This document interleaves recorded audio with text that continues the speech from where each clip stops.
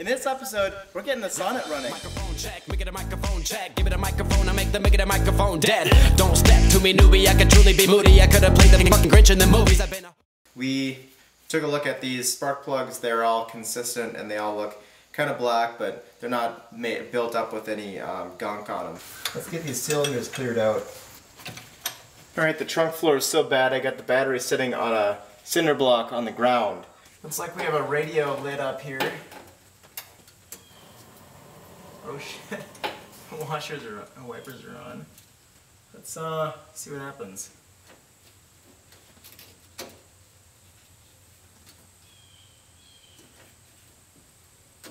No starter.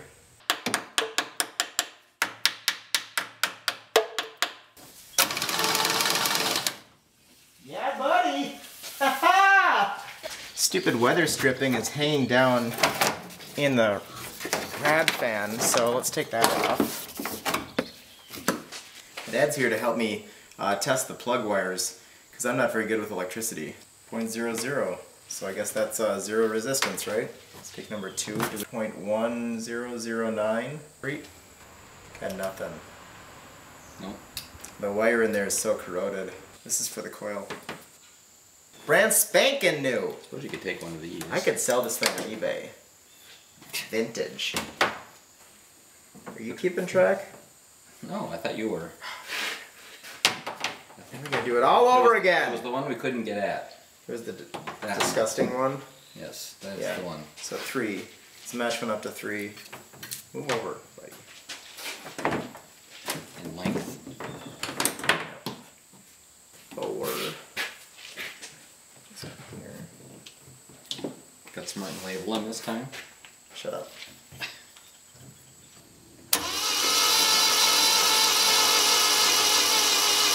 Nope. I'll let you have this uh, gauge for gap and points. I don't think I've used it since 1974 and I worked on the 63 Corvair Rampside.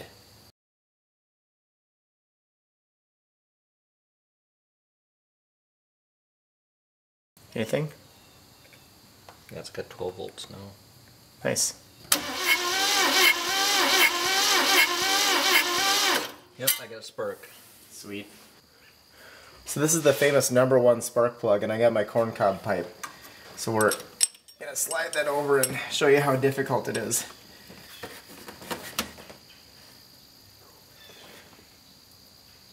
Okay. Go.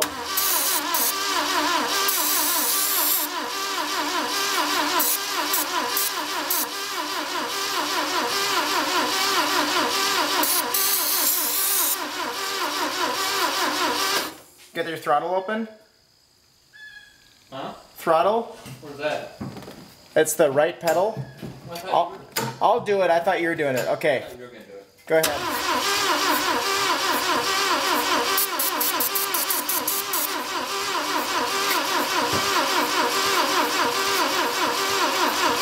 Oh, we got some uh, stuff coming out, some air coming out the top. Means you got a stuck valve. You think so?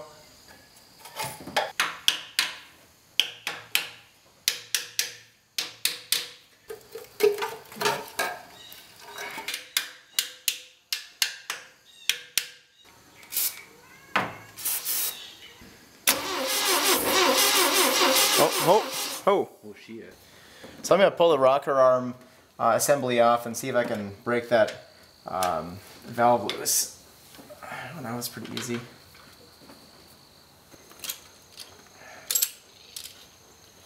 Got a push rod coming out. Yeah, I see it.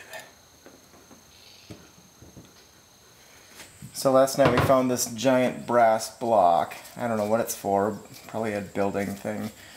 But we're gonna try to use this instead of having a brass hammer because I don't have a brass hammer. We use a BFH instead.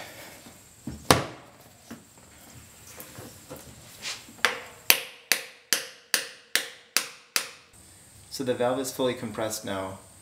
Plugs are out. Let's start doing this again. Okay. We got the something hitting something. I think it's a piston hitting the drop valve. That valve on cylinder 3 is pushed down really far. Um, unfortunately, I think I pushed it down a little bit too far, and the, the piston actually contacts it when I roll the engine over by hand. So I have uh, two options that I can see, well, three, but only two that I would actually consider. Um, the first one is to put a wad of string in the spark plug hole um, until it's kind of filled with, uh, with string and then you roll the engine over by hand and then the piston compresses the string and supposedly pushes the valve up uh, with uh, relatively low chance of bending it. That's something that I'm not totally comfortable with and the second alternative that I'm not really going to try is no string. So um, it's something that you can do. I'm not going to do it. I don't want to have to replace a valve. The third option is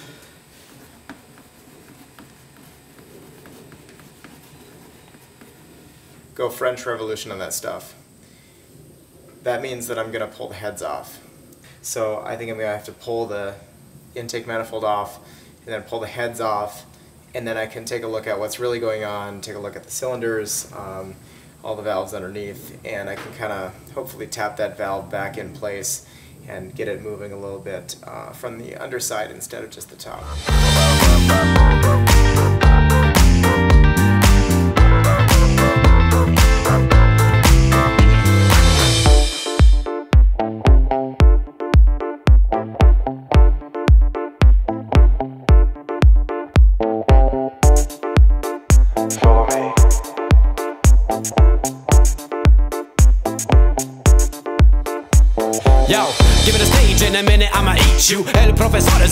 House, let me teach you. I could defeat you with two hands tied and have you waking in the hospital like, who am I? And who are you?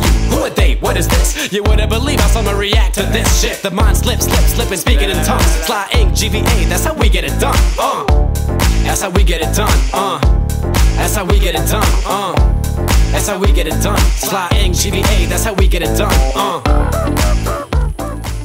So we do have a little bit of carbon deposit in here, some deposits in these areas, and then uh, let's actually take the gasket off. We have a some crud that's been in these. I think this is this is coolant. Yep. Must be a coolant passage. So that's good. I pulled this off because that wouldn't have cleared itself out. This is cylinders 3 and 4. Here's the stuck valve. That thing's out pretty far. Again, got some carbon in here. Um, doesn't look grotesque to me, but what does look grotesque is this stuff. That's nasty. So I'm gonna have to get that out of there and otherwise uh, nothing that is super offensive other than the coolant, as far as I can tell.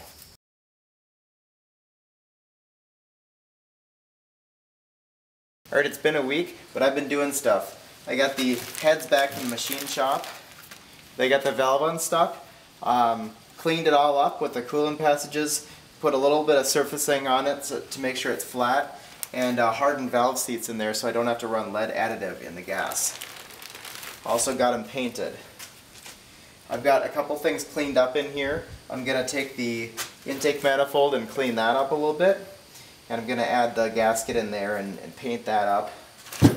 I got a full set of gaskets for the entire engine and it was kind of hard to find the head gaskets. So out of four part stores I called, only one of them had any head gaskets and it came with the whole set. Next step is to clean off the old gaskets and I'll start getting things together. I've been putting hoses on, which is a really boring task obviously, so spared you that and we'll try to get this stuff back on.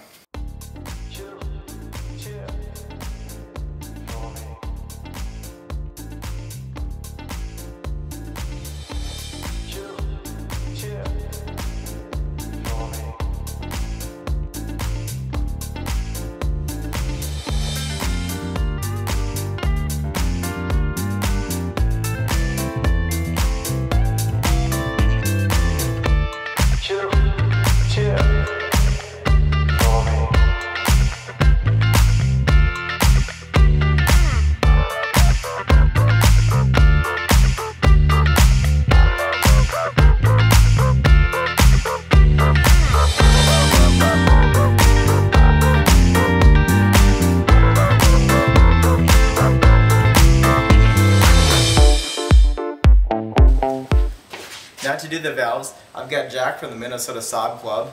Say hello. Hey, how's it going? and he's gonna uh, help me do the valves and kind of learn on his Sonett. And I think I'll show you a little picture of that right now.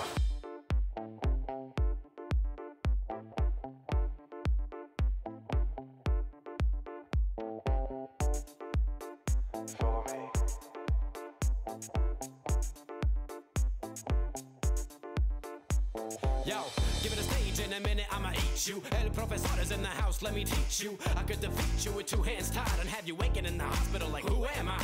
And who are you? Who are they? What is this? You wouldn't believe Now it's time to adjust the valves.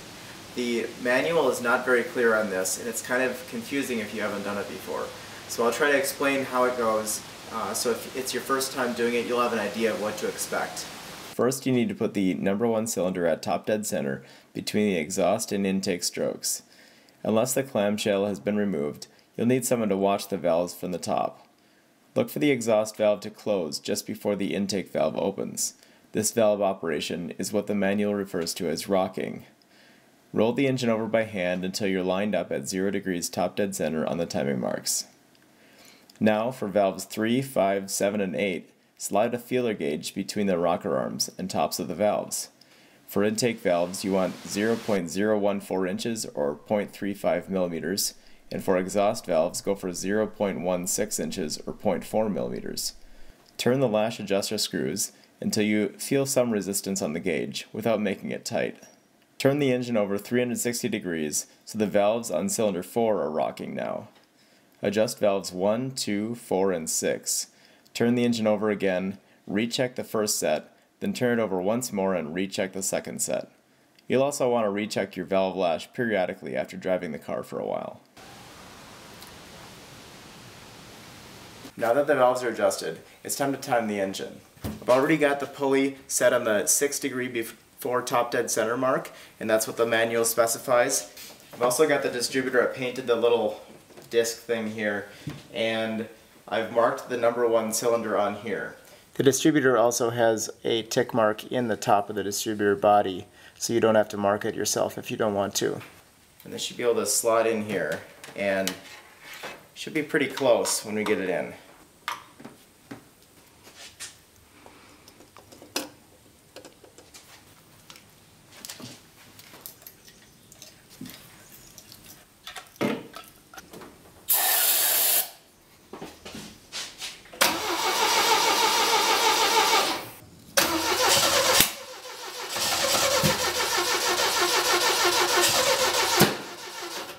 Oh, now here's got a lot running down It's getting getting oil. So we already know that we have oil coming to the heads, but or to the valves. But I just see we have 45 pounds oil pressure.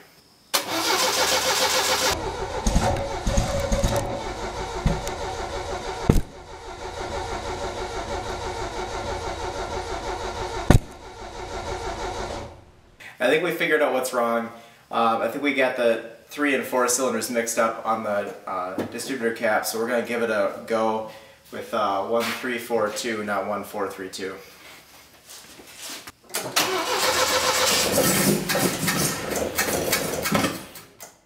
Yeah.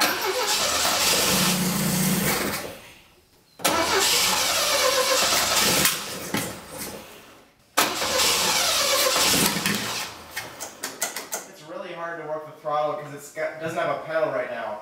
Oh,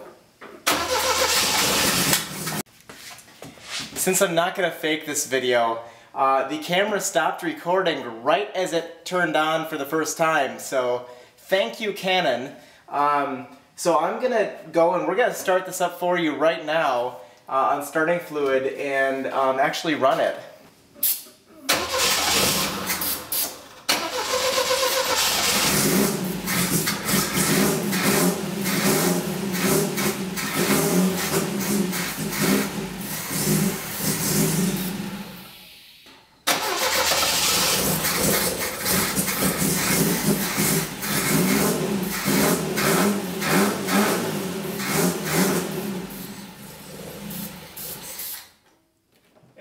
Sounds freaking mean.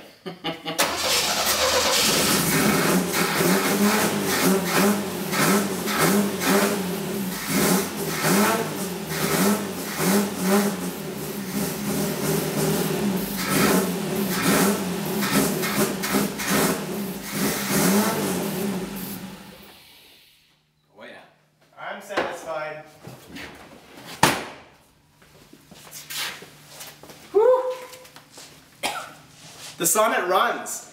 I'm super excited. I think it sounds awesome um, as far as it is right now.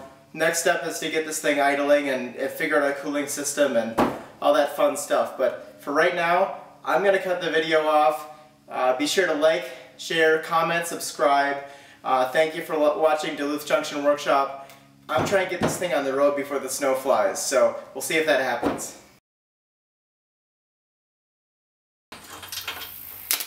Oh, fuck.